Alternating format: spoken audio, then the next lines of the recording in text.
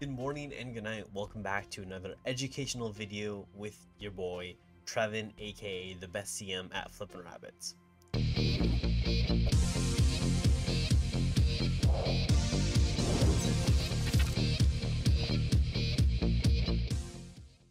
So today's video is going to be super easy and super fun, how to set up a Phantom wallet and where to go. So the first thing you want to do is go to phantom.app. This is where you're able to see the physical app. What we'll be doing is we'll be creating a full-on new wallet on Solana with Phantom.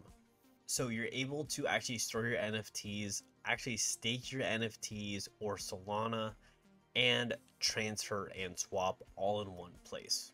As I stated before, if you do have a ledger, which I do recommend, click up above so you're able to watch that video. So Phantom is able to work with Chrome, Brave browser, which I do recommend, Firefox, and Edge. Today's video will be using Chrome. So all you have to do is on whatever browser you have, just hit Chrome. So this will be Chrome.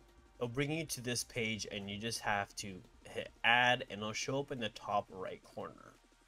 Okay, so that was the hardest part. The next thing is creating your wallet. This will take about 30 to 45 seconds. Super, super simple. Okay, so what you'll be doing is you'll be hitting create a new wallet.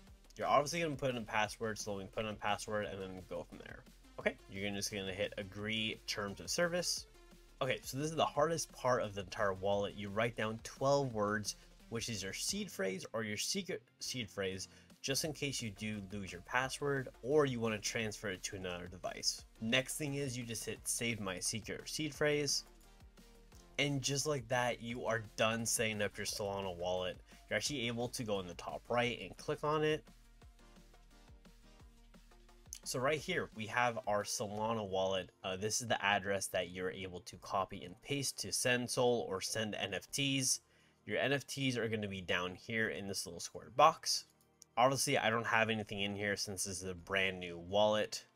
It'll also show your recent transactions here. And then if you do want to swap, it'll be the middle button right here. Last but not least, if you do forget your secret phrase, but you do remember your password, you're always able to hit show secret recovery phrase. I personally don't do this. A good rule of thumb is to create a new wallet every single month. This is a way so you're not able to get hacked, but like I did say before, getting a ledger and adding that to your Phantom wallet will be 10 times more secure, so go check out that video above. So one last thing I just want to say, you have to do the same process on the mobile app, either if it's iOS or Android, but it's very simple. It'll take as long as two to three minutes at max. The longest part is actually writing down the 12 word or seed phrase just so your wallet is safe. So I just want to say thank you guys so much for watching the video. If you enjoyed it, please leave a thumbs up, a like, and a comment. I love everyone that's coming together with the Flippin' Rabbit community, and I'll catch you on the flippity flip.